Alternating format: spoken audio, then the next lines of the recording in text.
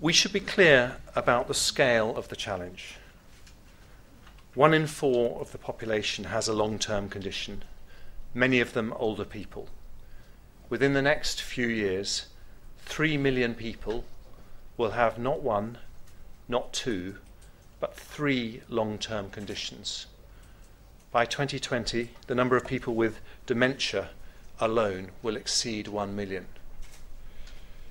We cannot treat chronic conditions on this scale with the systems, responsibilities, and incentives we currently have in place. Too often, care is reactive and disjointed, with mistakes caused as a result and in a way that endangers patient safety. Too rarely are our older, vulnerable citizens looked after with a joined up care plan that preempts problems before they arise. Now, for the avoidance of doubt, let me be clear who I do not blame for this, and that is the professionals in the NHS, whether doctors, nurses, GPs, or community practitioners. Last year, on a broadly flat budget, the NHS did 400,000 more operations than in 2010. There were a million more admissions to A&E.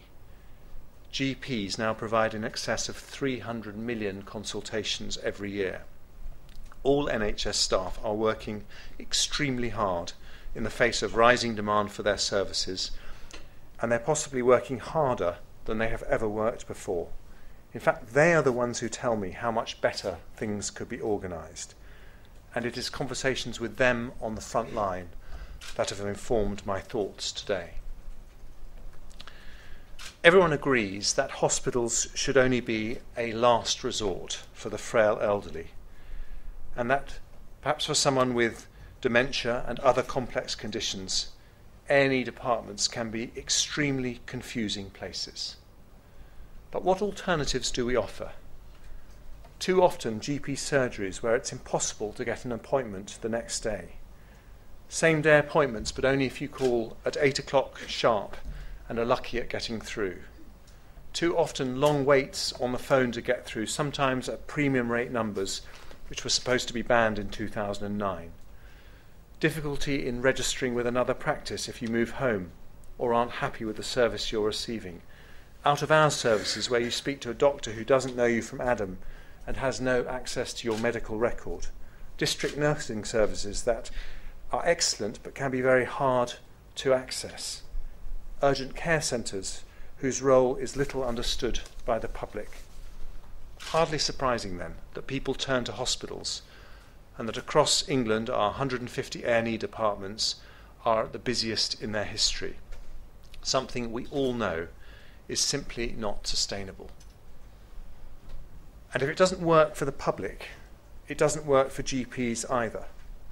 They feel rushed off their feet with a daily list of duties that can make it extremely challenging to develop trust with patients and exercise responsibility for their care, the very reasons that motivated them to join general practice in the first place.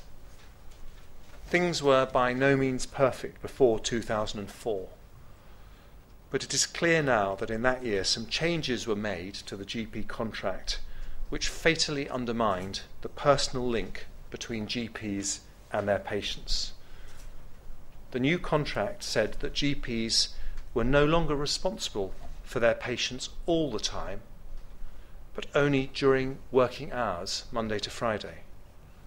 So, at a stroke, the need to think holistically about a patient's entire needs was removed, although, to their enormous credit, many practices still make superhuman efforts to do this, even under the new structures. The result of this historic mistake is that GP practices are now remunerated not for looking after people as individuals, but for complying with a myriad of targets and requirements.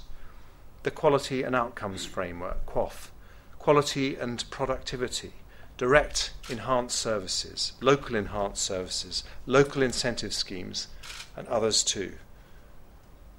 All these targets are designed for important reasons boosting immunisation, managing blood pressure, early diagnosis, HIV testing, extending hours, and so on. But taken together, the result is we reward GPs not for putting patients first, but for the number of biomedical boxes they tick when someone walks through the surgery door. It's like the patients have their agenda and we have ours, as one GP told me. And with every target or process comes bureaucracy and paperwork, updating different computer databases, chasing up test results or diagnosis, or scanning in letters from hospitals. One GP practice I visited recently actually had a post called Head Scanner because of the volume of letters they receive that have to be scanned in and linked to a patient's medical record, a function that takes around six hours every day in that particular practice.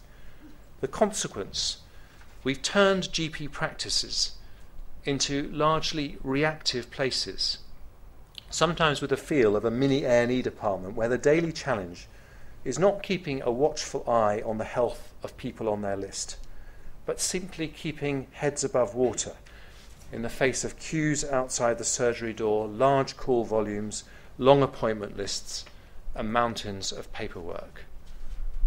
And the proactive work of a family doctor, checking up on a frail older patient recently discharged from hospital, phoning someone who is depressed and living on their own to see how they are, looking up when someone suffering from a recurrent back pain last came to see them, is too often forgotten or left undone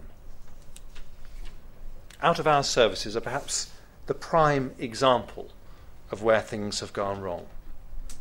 We've had teething problems with the new 111 service, and they were not acceptable, and we're sorting them out. But those problems have rightly focused public attention on the variable quality of out of hours GP services. No one is suggesting that GPs should go back to being personally on call during evenings or weekends. They work hard, they have families, they need a life too. But should the quality of out of hours care for people on their list really have nothing to do with the GP? And is it right that most out of hours providers can't even access your medical record, even with permission? Which is all part of the same problem. Patients in hospitals are under the care of accountable clinicians. The consultant responsible doesn't do everything him or herself. But if something goes wrong, you know where the buck stops. But when a vulnerable older patient needing follow up and ongoing support leaves hospital, who is the accountable clinician? As a member of the public, I would like that to be my GP. I'm not talking about one person personally providing every element of care for a vulnerable parent or grandparent. Clearly, there will often be important roles for geriatricians, district nurses, social workers, and others. And we can debate whether, in certain cases, the accountable clinician might not be a GP, just as in hospitals, sometimes the individual responsible consultant can change based on the needs of a patient. But at any stage, a patient and his or her family should know where the buck stops and that there's someone whose job it is to know how someone is, ensure good care is in place, and make sure there is access to good advice both in and out of hours.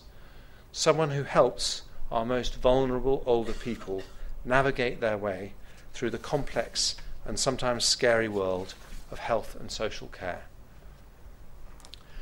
Reclaiming the ideal of family doctoring in the 21st century means making sure clinicians are accountable for people who are unwell, whether inside or outside hospital.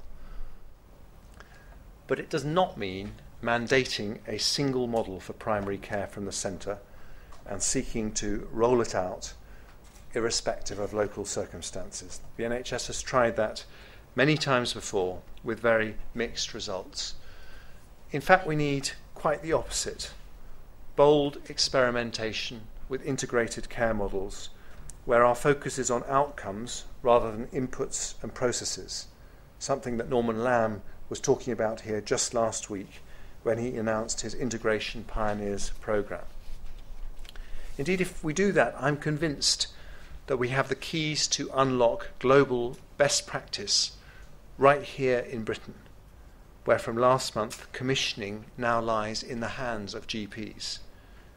But we need to go much further, actively combining the best traditions of NHS primary care with the transformative power of modern technology, not just for the benefit of clinicians, but also to help patients manage their own conditions.